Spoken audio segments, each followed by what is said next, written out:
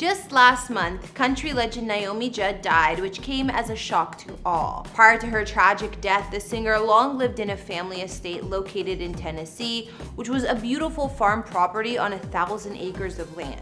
At the end of April in 2022, the music industry was rocked by the unexpected death of country music legend Naomi Judd. What's more, her passing came about only one day before she and her daughter Wynonna were set to be inducted into the Country Music Hall of Fame for their work as the Judds. When we started out, we were on the same little old rinky-dink bus. Yeah. Well, Pops played the bass and drove the bus, and then Wynonna and her accomplished Hollywood actress of a sister Ashley Judd would both manage to find the strength to attend the ceremony following the tragic death of their mother, where they reminded those in attendance just how much she meant to her fans and how much they meant to her in turn. My mama loved you so much, and she appreciated your love for her, your esteem for her, and your regard for her. And it was your affection for her that did keep her going in these last years. And please come see Pop. Only a few weeks prior, Naomi herself had been on stage at the CMT Music Awards where she seemed to have been in great spirits and even discussed hitting the road for a tour for the first time in nearly a decade. Toothpaste is out of the tube. It's happening right this minute. Uh, we're touring together. Stranger things have happened.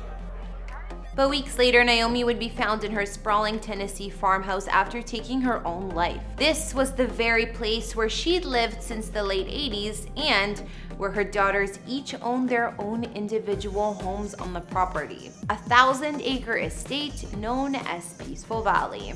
Prior to this horrific discovery, this had been a place for love and healing, somewhere the Judds could work through personal issues and spend time together as a family. Hey guys, it's Kara back with another exclusive house tour here on Famous Entertainment. And if you've ever wanted to take a look at Naomi Judd's longtime estate, Peaceful Valley, we're going to check out what we know about the place. Don't forget to like, subscribe, and hit me up on Instagram to chat.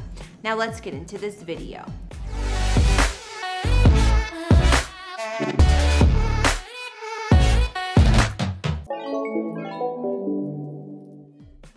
Before we dig into Naomi's family estate, first a little bit of context for the events to come. After giving birth to her first daughter Wynonna at the age of only 18, by the time Naomi's child was a teenager, these two would attempt to take over the music industry as a mother and daughter duo with a couple of sensational singing voices. Prior to finding success in music, Naomi, alone with her two daughters, was living in a one-bedroom apartment and surviving on food stamps while working as a cocktail waitress. But once they became the Judds, everything changed. In 1983, Naomi and Wynonna skyrocketed to success with their first hit single, Had a Dream for the Heart. But only eight years later, Naomi would have a bombshell dropped on her. She was diagnosed with hepatitis C, a life-threatening illness for many if not treated properly. In fact, at the time of her diagnosis, Naomi was given a three-year lifespan, which meant that it was time for the Judds to come to an end. The duo's farewell concert was the most successful musical event in cable pay-per-view history. At that point, Naomi would then retire to 1,000-acre estate in rural Tennessee dubbed Peaceful Valley.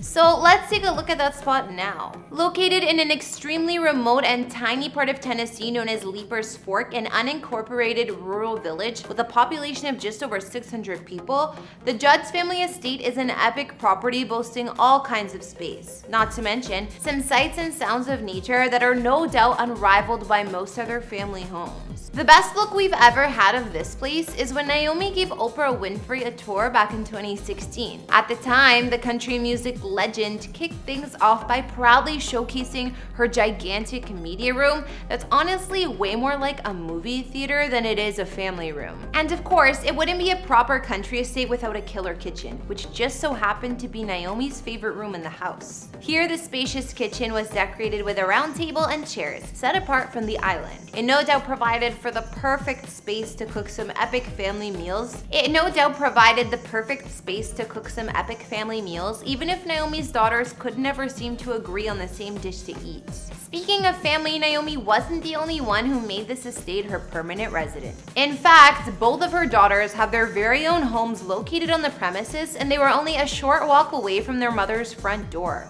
Considering Naomi's difficult early life, her struggle to raise two children largely on her own, not to mention her eventual battle with hepatitis C, it's nice to know that when she was here at the family farmstead, she always managed to find peace especially when it came time to visit their on-site lake, a location that everyone found to be completely magical. What's more, because the village they live in is so small, the Judds were almost never bothered by anyone when they were seen around town. A local resident who was asked about their presence wrote, For the most part, I think everyone respects their privacy, but whenever I've seen them at a public event, they always seem more than willing to sign autographs especially Wynonna. We see Naomi out and about the most. Unfortunately, that will no longer be the case. Before we bring this video to a close, let's dig into the tragic passing of Naomi Judd. We've already discussed Naomi's hepatitis C diagnosis from the early 90s, which forced her into early retirement. What we haven't talked about is the fact that she actually beat it. She got better. That might have hepatitis C, because it is going to kill four times more Americans than AIDS will in the next decade. Overcoming a life-threatening illness is one thing, but triumphing over a lifelong battle with depression is something else altogether.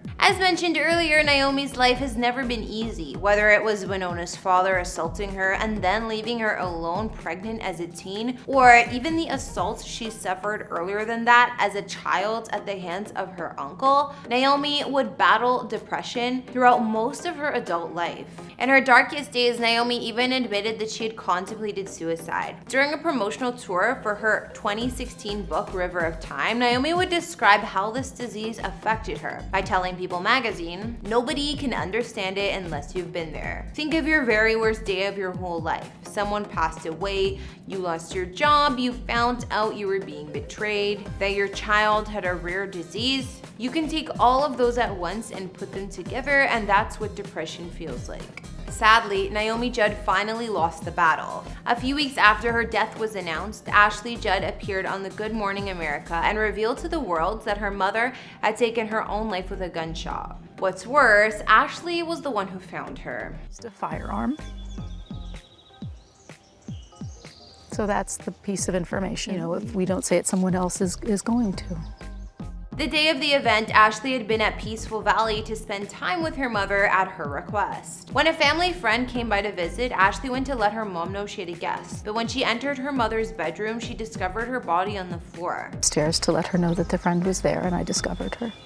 It's a truly tragic and heartbreaking end to a woman whose life meant so much to so many. It was made all the more tragic by the fact that the disease she was battling prevented her from realizing this fact in the first place. The one bright light at the end of all this misery is now Naomi's life will end exactly the way it should have, in celebration. Country Music TV will soon be hosting a special titled Naomi Judd, a River of Time celebration to honor this legend's life. What's more, Wynonna Judd has announced that she she is going to honor her mother's tour dates through 2022 and bring her mother's life to a close exactly the way she would have wanted it to end, on stage in front of an adoring audience. Alright guys, that's gonna bring this latest house tour to a close. A bit of a different episode this time, but Naomi Judd's story was simply too compelling not to share. Be sure to let me know your thoughts on this video and her Peaceful Valley estate in the comments below. Thanks for watching, don't forget to follow me on Instagram and I'll see you all in another video. Bye!